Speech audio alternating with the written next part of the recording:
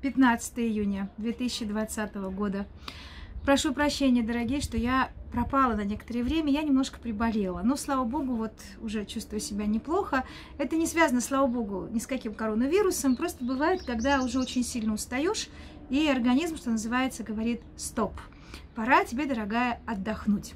Так что сегодняшний наш с вами выпуск будет в таком отдыхательном режиме. Отдыхает автор. Надеюсь, будете отдыхать и вы сегодня вместе со мной эти 15 минут. И мы поговорим с вами обо всем понемножку. И в том числе о том, как я отдыхаю и какие могу вам дать в этом смысле полезные такие вот дружеские советы. А, прежде чем начну говорить, а, хочу сказать одно слово по поводу предыдущего нашего выпуска, который был посвящен Хеврону и Дубу Маврийскому. Я получила от вас вежливые и не очень вежливые а, вопросы, касающиеся явления Господа Аврааму под Дубом Маврийским, что если явилась не Троица, тогда кто же изображен на иконе Андрея Рублева и так далее. Для тех, кому этот вопрос интересен, я расскажу по этой теме в следующем выпуске. Это будет у нас чтение Евангелия от Луки.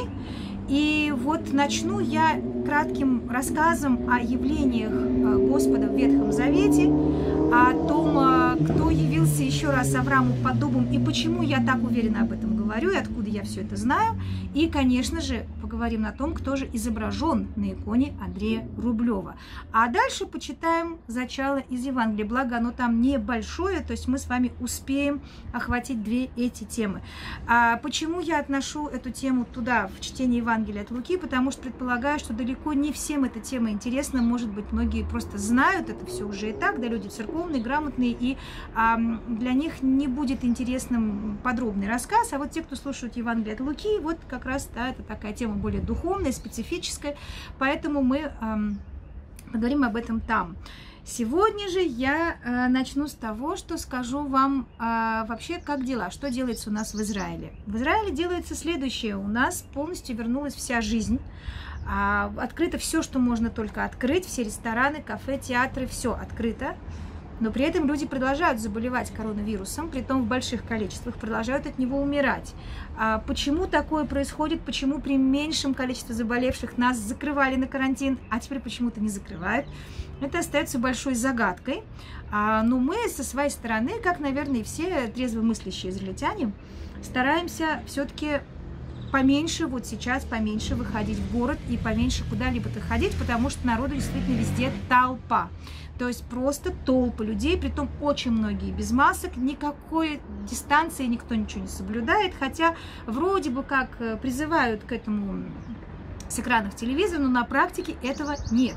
И, соответственно, вот как-то так на душе э, тревожно, на все, конечно, воля Божия, но все-таки лезть в самую толпу, когда есть эпидемия, чего бы то ни было, даже пусть не коронавируса, даже обычного гриппа, да, как-то не хочется. Кстати, обычный грипп тоже у нас ходит. И я от знакомых узнала, которые переболели самым обычным гриппом, вот таким добрым, милым гриппом, по которому мы с вами уже, наверное, скучаем, да, с обычным горлом, насморком, который потом быстренько проходит. Тоже он гуляет гуляет. Поэтому, соответственно, как-то вот так хочется побыть побольше дома. А, но мы, конечно, снимаем, и мы готовим большой очень выбор а, экскурсий. И об этом я чуть позже сейчас расскажу. Пока вернусь к тому, что вот все открылось. Мы тут недавно как раз вот снимали экскурсию, продолжение экскурсии по улице Яфу и попали на рынок.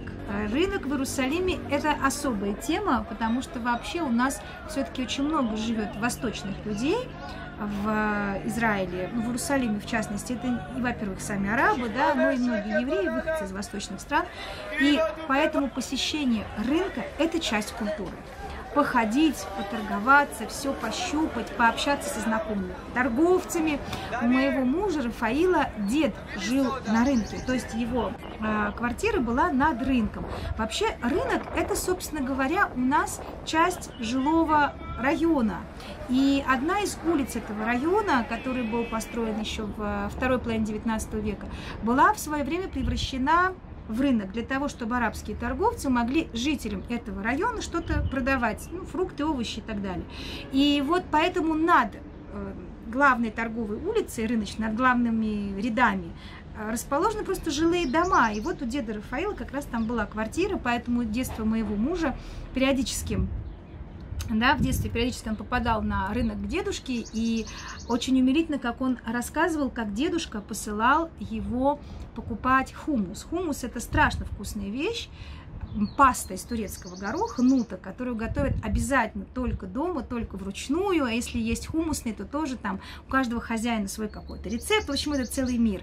И э, хумус едят питой, пита такой хлеб с карманом. И вот к хумусу полагается еще и фалафель, это тоже молотый турецкий горох, нут, из него делаются шарики и обжариваются в масле. В одной из экскурсий я вам, по-моему, уже даже показывала, да, когда мы с группой еще ходили к крестному пути, помните, вот через цветочные ворота, там были кадры, как делаются фалафель.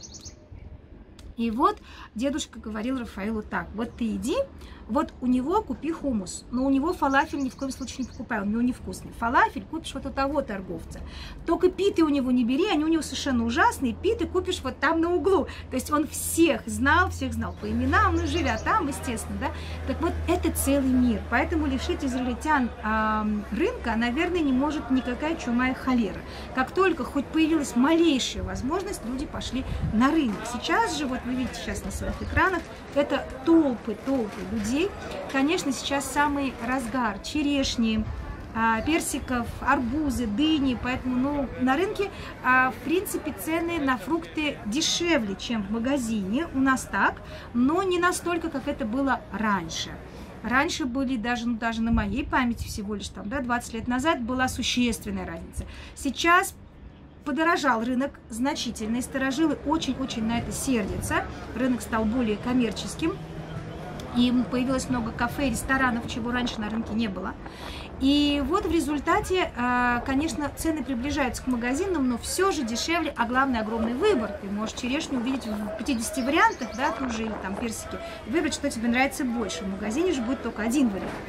И вот народ, конечно, ходит, покупает, тут же и сухофрукты, тут же и специи, на рынке продают и меды, халву, и, в общем, все самое разное вкусное. Опять же, по рынку будет у нас с вами экскурсия обязательно. И вот, кстати, сейчас на экранах вы видите замечательную штуку. Это иерусалимский кугол. Его продают тоже на рынке. Это изделие такое сладкое, кондитерское. Делают его из макарон. По сути дела, это сваренные макароны, туда добавляются специи, яйцо, сметана, коричневый сахар или белый сахар. И делается такая запеканка. Это ужасно вкусно. Я делаю дома сама. Детям, честно говоря, моя мама всю жизнь это делала. Мы даже не знали, что это, оказывается, еврейская такая европейская кухня. В Москве, кажется, все это делали запеканку из макарон. Но здесь дело в специях. Они добавляют и сладкий перец, и всякие специи, которые дают такой очень эм, аромат и вкус оригинальный.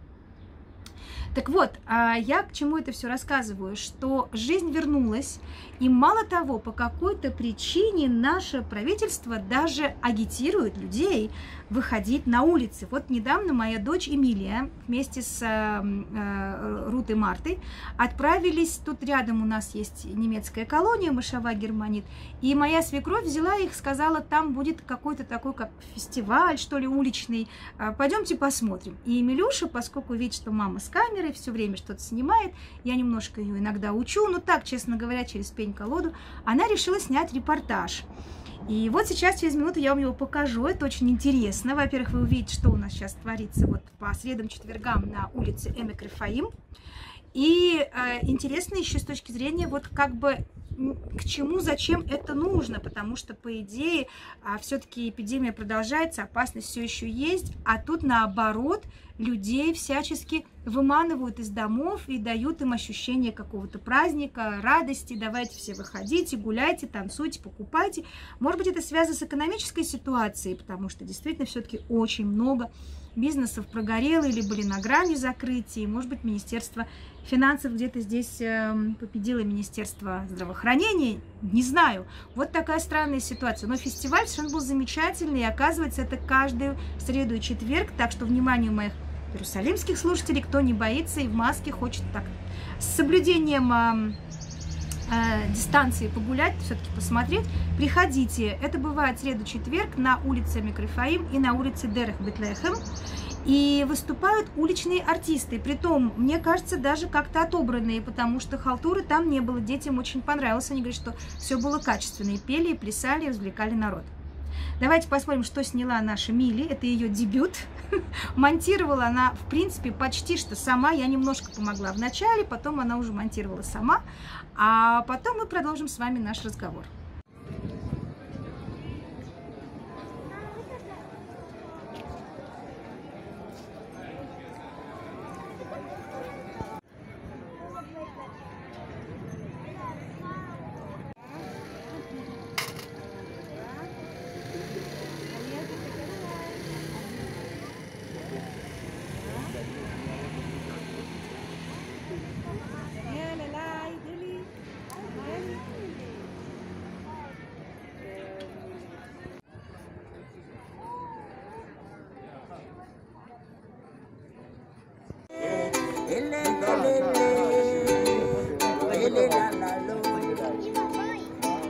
Hallelujah.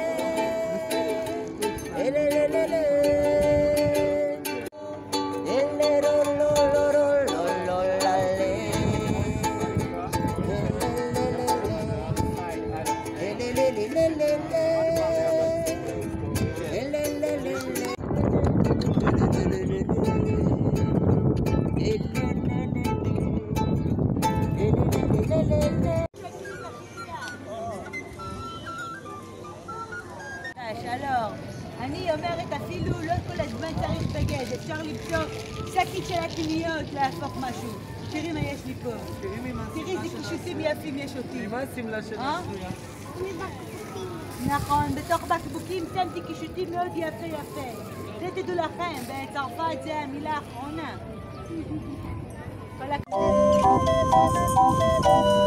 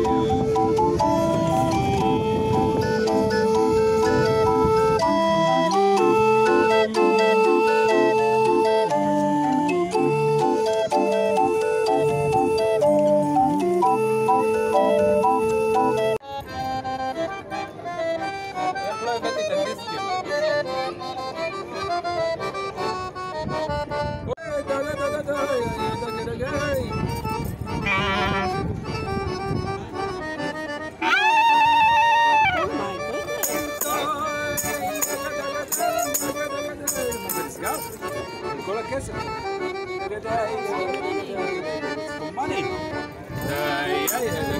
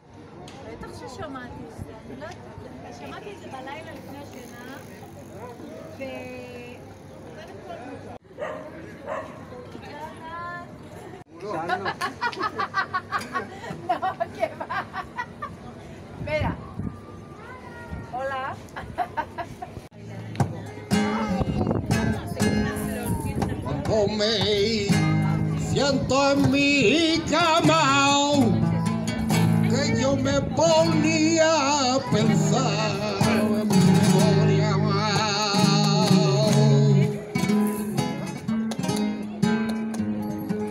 Me paso toda mi memoria.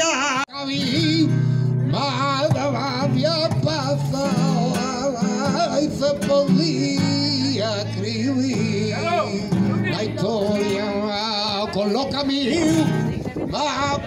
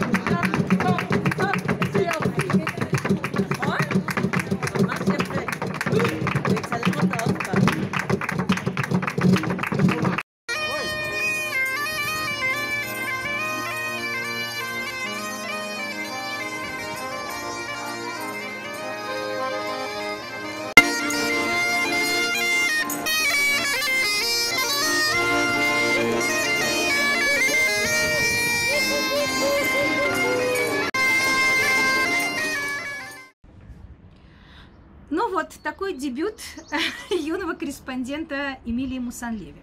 Ну, а мы с вами продолжаем наш такой немножко развлекательный блог сегодня.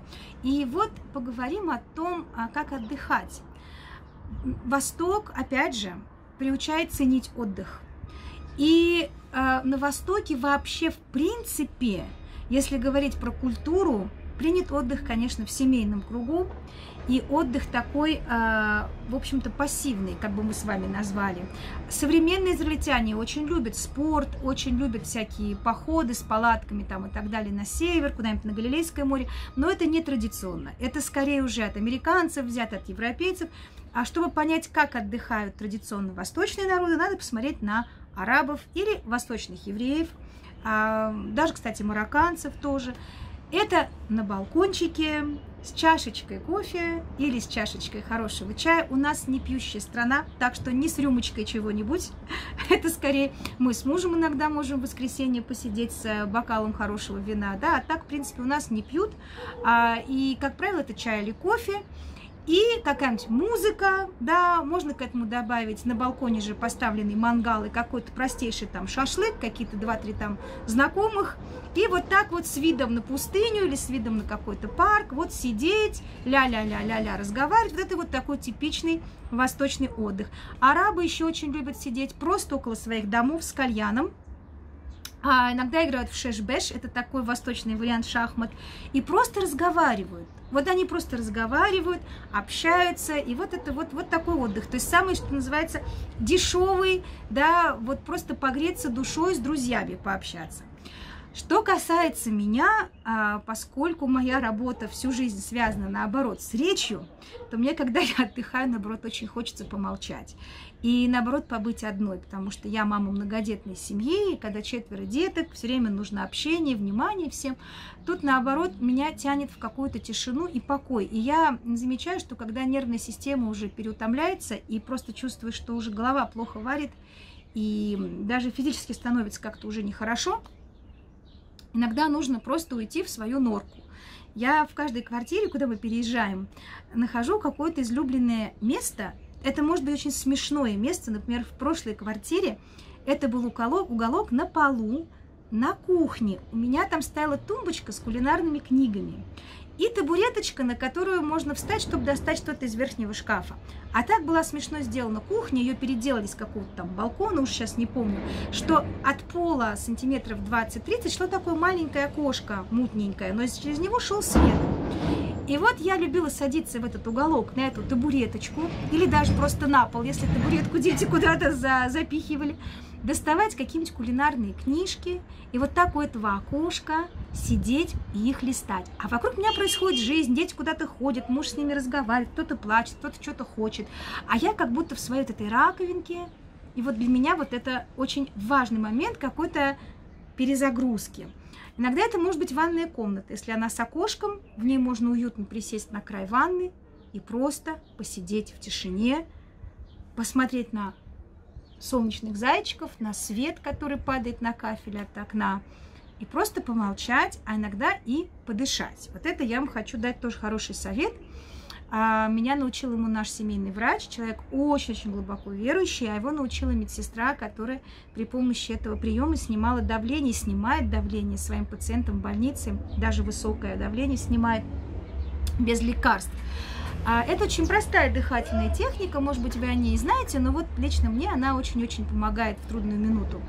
А здесь очень важно очень комфортно сесть, я имею в виду комфортно в том, чтобы вот вокруг вас был вот этот вот кусочек тишины, какой-то ваш отрезок пространства, да, еще раз, это может быть уголок какой-то, или это может быть даже вот ванная комната, так где-то сесть, или лечь, если совсем плохо, можно лечь, лечь на спину, и дальше вам нужно сосредоточиться и дышать следующим образом. На три счета вы втягиваете воздух носом, вот так, считая на три. Дальше, продолжая в том же темпе счет, на 5, выдох, на 5 счетов вы будете выдыхать через букву F. Медленный выдох. То есть вы про себя считаете раз, два, три, раз, два, три, четыре, пять на 3 вдох носом, на 5 счетов медленный выдох на да? И вот так, если думать только о счете в этот момент и только о своем дыхании, вы почувствуете через какое-то время, как вы начинаете расслабляться, как по телу начинает разливаться тепло, как вам становится хорошо и уютно с самим собой.